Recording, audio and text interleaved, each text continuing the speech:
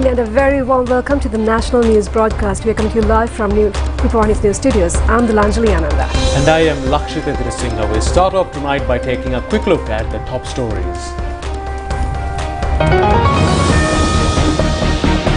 Sri Lanka's economy shows signs of stabilization, World Bank says. Prices of nine Sathosa commodities reduce. A kilogram of big onion reduced by 55 rupees and imported egg is priced at 36 rupees. Government assures not to privatize any institution that relates to expressways. Order under the Value Added Tax Act passed by majority. Parliamentary session suspended for two and a half hours due to the absence of parliamentarians. Development Lotteries Board records the highest prize amount provided for public in 2023. Board achieves the highest revenue earnings last year. Cabinet grants approval to provide sanitary pads for 800,000 female students. Sirila Kapiri Aurudu Siri Rupavahini New Year Festival begins. Seven Iranian consul officers in Syria killed in Israeli attack.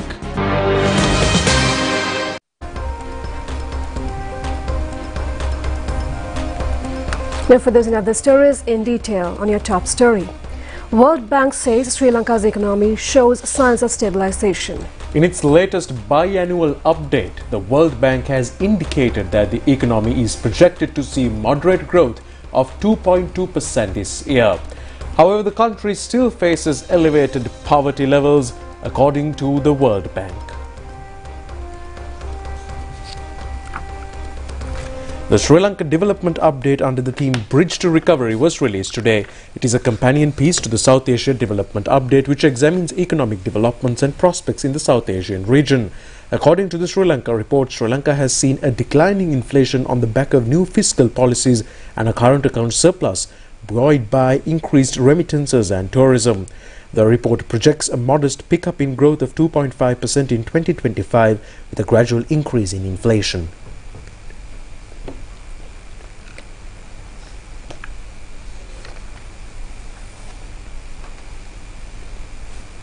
As underscored in our Sri Lanka development update entitled Bridge to Recovery. Over the past few years, that Sri Lanka navigated through a series of unprecedented challenges, including a global pandemic as well as a se severe economic downturn.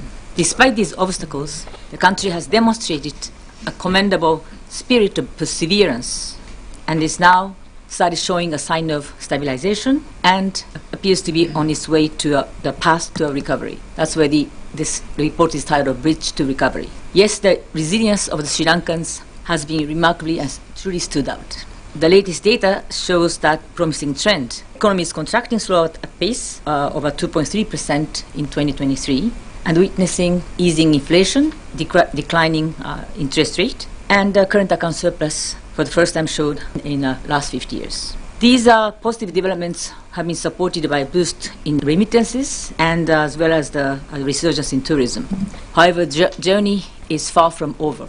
The poverty rates remained elevated, and also recovery hinges upon maintaining stability and continuing uh, reforms to complete the stabilization and move more toward the path to our growth. Firstly, growth turned positive in uh, the second half of 23. So you can see here, this shows quarterly growth through at least most of 22 into 23. You can see the deep contraction, but in the latter half of 23, you can see some positive growth, some green shoots, largely driven by services, certain industries, um, and food and beverage products uh, industry. However, that's the construction sector, which also dipped quite sharply during the, the crisis that hasn't yet um, shown any signs of recovery. But just to summarize, so you can see 2023 decline or the contraction was about 2.3%, which is less than the deeper contraction in 2022 of about 7.3%. Another point um, to make is that external balances are improving. So just a, a, first sort of data point to flag in terms of the significant rebound in tourism um, from initially the depths. Well, obviously you can see the depths of COVID there there was some rebound, and through the economic crisis, this, this fell again, and this it's certainly risen, um, approaching pre-crisis levels. Together with um, increased remittances, uh, weaker imports, and IFI flows from World Bank IMF ADB, you've, we see this current account surplus for the first time since about 1977. In this environment, forex reserves are being rebuilt. So from the dip at the bottom there, middle of 22, around $300 million, one one to two weeks of imports, grown to about $3 billion now, or about two months of imports. And with this enhanced liquidity, you see um, the rupee has appreciated, or did appreciate by 10.8% in 23, and we've seen that continued appreciation into this year. However, downside risks remain high, with especially these very limited buffers. The elections this year and the potential we see or the concern we see around policy reversal or policy fatigue, particularly around the reforms that have been have been implemented. And the other one is obviously a, a prolonged and insufficiently, say, deep debt restructuring, which would be a, a significant drag on the economy. Lanka Sathosa has reduced the prices of several essential commodities again. The new prices will come to into effect from today. Accordingly, a kilogram of Pakistani imported big onions has been reduced by 55 rupees and the new price is 495 rupees. The price of 1 kilogram of imported red onions has been reduced by 30 rupees and the new price is 290 rupees. A kilogram 194 rupees following a 16 rupee decline. The new price of a kilogram of Pakistani imported potatoes is at 195 rupees. 400 gram LSL milk powder packet is at 925 rupees. A kilogram of imported flour has been reduced by 8 rupees and an imported egg price has been reduced by 7 rupees. Accordingly, the new price of imported flour is at 192 rupees while an imported egg will be 36 rupees. A kilogram of local white kekulu rice has been reduced by 3 rupees with a new price at 192 rupees. Meanwhile, a kilogram of soya meat has been reduced by 2 rupees. Sathosa chairman Pasandaya Pabewardena during a media briefing today said that commodity prices will be further reduced during this festive season to provide some relief for the public. The President has directed officials to investigate and report challenges faced by Muslim schools in Colombo and to address those issues immediately. He instructed the officials during a meeting held at the Presidential Secretariat today. Key issues addressed include the shortage of teachers, inadequate space and classrooms, difficulties in teaching Islam in Sinhala, absence of schools in Muslim-majority areas. Approximately 40,000 students receive education through the Sinhala medium and the meeting addressed the shortage of teachers proficient in teaching Islam in Sinhala. Principals and organization representatives highlighted a shortage of approximately 200 teachers in 19 Muslim schools in Colombo and stressed the importance of resolving the issue. Hence, President Wickremesinghe instructed the officials of the Ministry of Education to look into this matter and to come up with proposals to address this issue. Additionally, attention was also drawn to the lack of Muslim schools in certain areas of Colombo, leading to students' inability to engage in educational activities. President Wickremesinghe directed Urban Development Authority officials to explore options for relocating some schools to suitable land. The meeting delved into overcoming obstacles to donor-funded construction of new school buildings to address space shortages. The President also advised officials to initiate agriculture-related training programs for advanced level past students. Participants in this meeting comprised Senior Advisor to the President on National Security and Chief of Presidential Staff Sagala Ratnayaka, Governor of the Western Province Air Marshal Roshan Goonetileke, Secretary to the President Saman Ekanayaka and Minister Ali Sabri.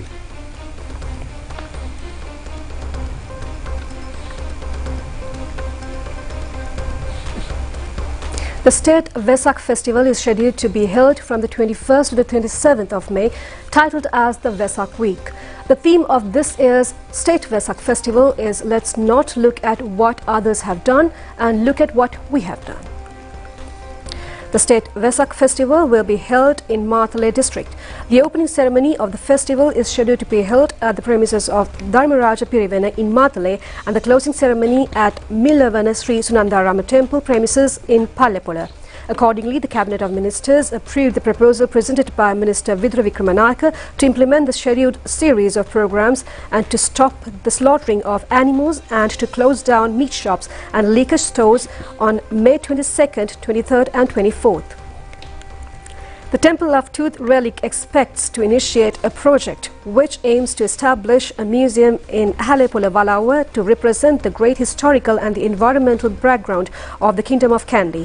The Cabinet of Ministers approved the proposal presented by a President to hand over the Halepole Valawa and the grounds to the Temple of the Tooth Relic through a title deed of sacred premises.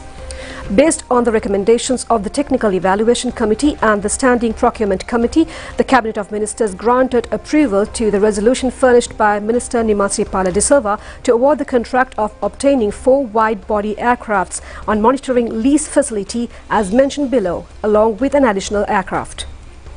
Cabinet of Ministers granted approval to the resolution furnished by Minister Susil Premajayantha to implement a program to provide sanitary pads free of charge annually from April 2024 to 800,000 female students studying in most remote schools, remote schools, isolated schools, estate schools and in urban schools where poor female students are in.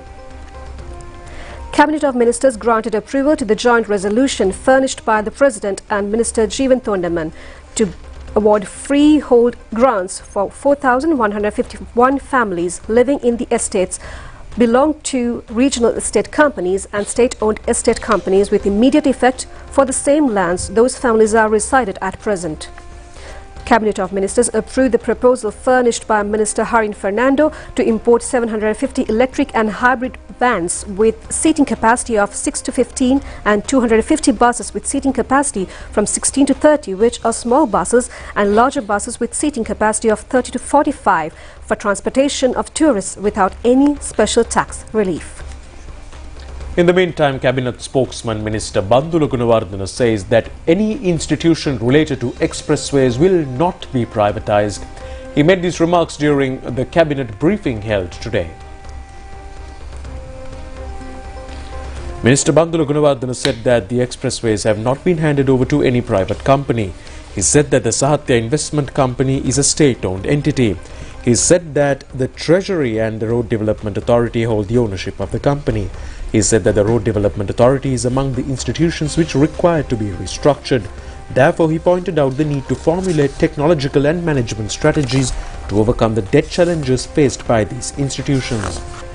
Responding to a query raised over the recent fuel price reduction of limited fuel products, the minister said that the gas prices have been reduced by 600 rupees in support of the general masses. He said that highway buses use super diesel of which the price was reduced. He said that a price formula has been introduced to mitigate the issues persisted for a long period of time. He said that the new prices are being determined based on the world fuel prices.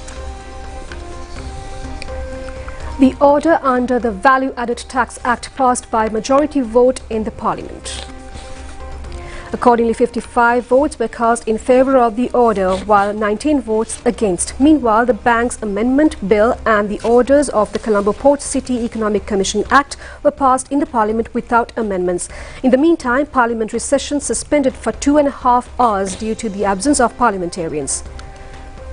Speaker Mahinda Abeyewardene announced to the Parliament today that he endorsed the certificate on several bills yesterday which were passed in the Parliament in recent past. Speaker has endorsed the certification on the bills titled Secured Transaction, Registration of Documents Amendment, Trust Receipts Amendment, Mortgage Amendment, Finance Leasing Amendment, Inland Trust Receipts Amendment and Companies Amendment. The Development Lottery Board has been able to extend a record price amount of 13.4 billion rupees for its consumers in 2023. The Development Lotteries Board also recorded the highest revenue in its history during the last year. State Minister Shehan Semasinghe said that the funds disbursed as prize money have exceeded 13.4 billion rupees. Also, he said that the board has increased its contribution to the government by 5.19 billion rupees. He added that the board has contributed 3.6 billion rupees to the President's fund with its profit at entirety. Chairman of the Development Lotteries Board Ajit Naragala said that they surpassed the 3 billion rupee mark in 2022. However, he said that they managed to surpass that limit and reach an annual profit of 3.6 billion rupees. He said that they also managed to extend a record prize amount of 13.4 billion rupees for its consumers in 2023. Additional Secretary to the President Sarath Kumar said that the President's fund is predominantly utilized for education and health. In the last three months, he said that all medical aid provided through the fund will be increased from 50% to 100% with special attention to children's hospitals. He said that they now extend assistance for 75 illnesses compared to the previous 30. Accordingly, he appreciated the support extended by the Development Lotteries Board to the President's fund.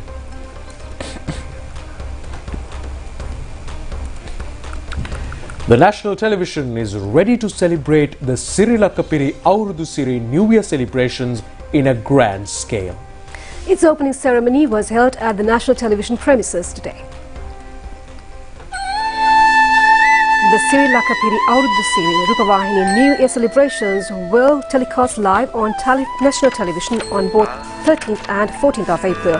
New Year rituals and customs will telecast live from 2 p.m. on the 13th to 1 a.m. on the 14th. The New Year festival will be held at the Somaweera Chandrasiri grounds in Piliyandala from 7.30 a.m. onward on the 14th of April.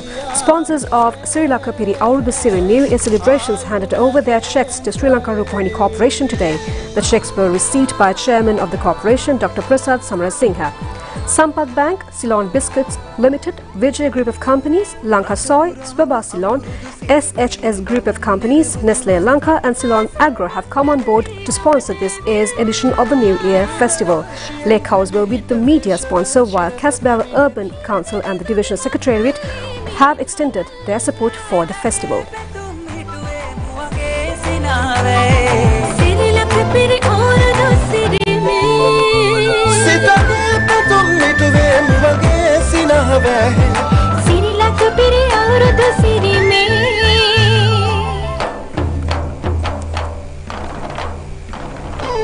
The crown presented for the Rupavahini Aurudu Kumariya was exhibited in line with the inauguration ceremony. Executives of national television were present on this occasion.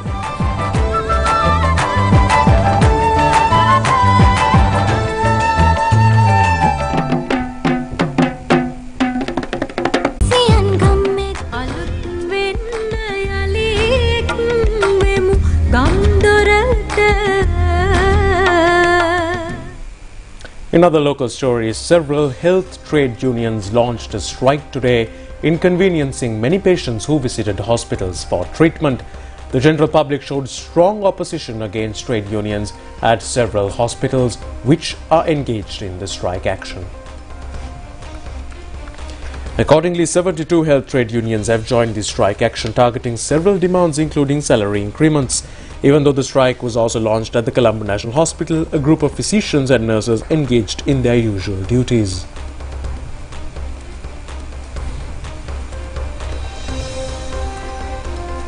The clinic at the Hingurakgoda Base Hospital was not conducted today due to the strike. This caused a severe inconvenience to the patients who had visited the hospital for treatment. Meanwhile, the nursing staff attached to the Hingurakgoda hospital engaged in a silent protest at the hospital premises. The reconstruction of the Sirisumana road in Uggala was commenced today. The reconstruction of the road will be carried out at a cost of 34.5 million rupees.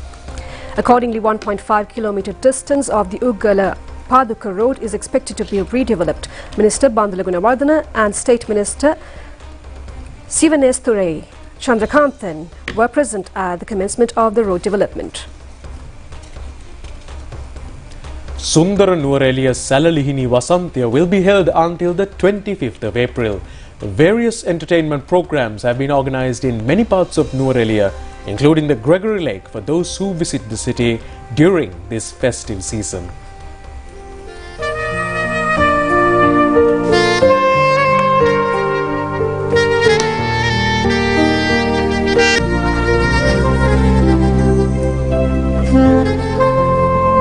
National Television invites the public to visit Nuwareliya during this season and experience the Salalihini Vasantya festivities and the beauty of the Victoria Park in this wanderlust.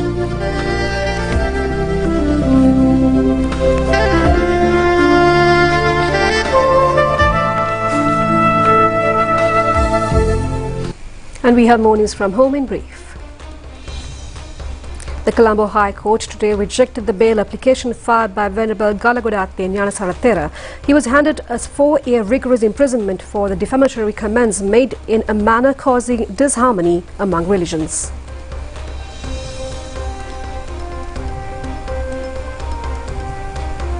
Saplings were handed over to the Speaker and the parliamentary office bearers to plant saplings for the National New Year tradition uh, to plant saplings. The saplings were distributed by Minister Mahinda Amaraweera. The utilization of latest technology to uncover erased inscriptions in the largest stone inscription found in historic Dimbulagala mountain top. Initially, the researchers were only able to uncover 40% of the information engraved in the stone inscription. Therefore, senior lecturer of the Postgraduate Institute of Archaeology, Arjun Ratnatlaka, said that steps were taken to use the latest technology in this regard. Sri Lanka Customs has gained revenue close to 350 billion rupees in the first quarter of this year. Customs media spokesman Sivali Arukgoda said that the revenue gained is equivalent to the funds expected from the customs by the government. Customs media spokesman Sivali Arukgoda said that Sri Lanka Customs has collected close to 350 billion rupees in revenue in the first quarter of this year, which is equivalent to the funds expected from the customs by the government. He said that they managed to reach this target with new reforms introduced within the customs department. He said that with the government's decision to re-import several items which were suspended last year contributed to this achievement. He said that increasing the VAT up to 18% also contributed to the increased revenues. A foreign tourist who had visited Sigiriya area to experience the sunrise has been admitted to Dambulla Base Hospital after being struck by a wild elephant. The hospital has indicated that the tourist is in a critical condition. The foreign tourist has met with his accident while walking towards the Sigiriya rock along with her husband. The Canadian national was critically injured from the incident and she was admitted to the hospital by a tour guide. A woman had also been killed after being struck by a wild elephant in the same area in a previous occasion. Various stakeholders continue to allege the responsible parties for failing to take appropriate action against these incidents. That's all the news we have from home. Stay tuned for international stories coming up next. உங்களுக்கு transfer வந்திருக்கு பரவாயில்ல sir பிள்ளைகள் தானே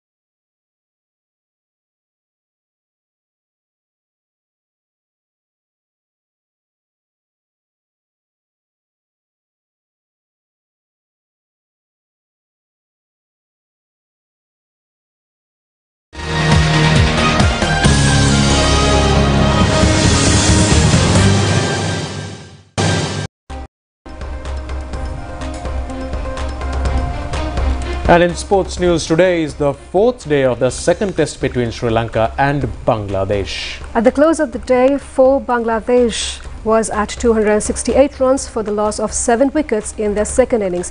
Bangladesh need only 243 runs to win the match. The match is underway at the Chattogram, Bangladesh. At the start of the play, Sri Lanka was 102 runs for the loss of six wickets. Angelo Mathews managed to score his 41st half century by scoring 56 runs.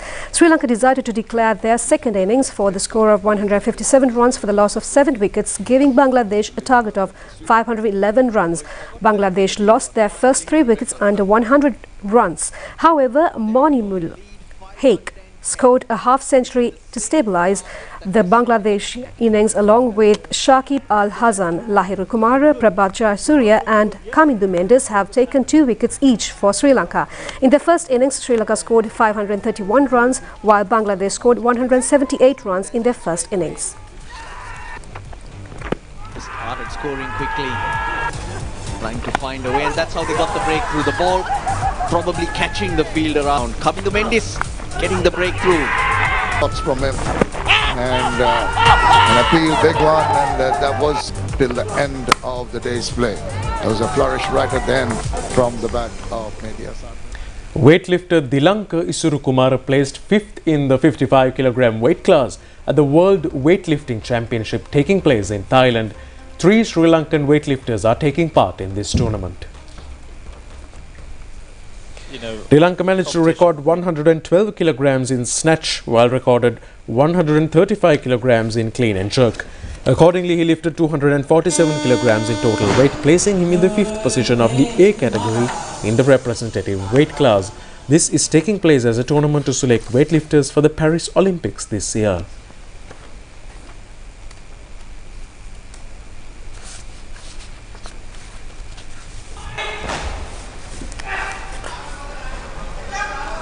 Pretty easy clean. Steps forward though. Oh, nice That's good. jerk.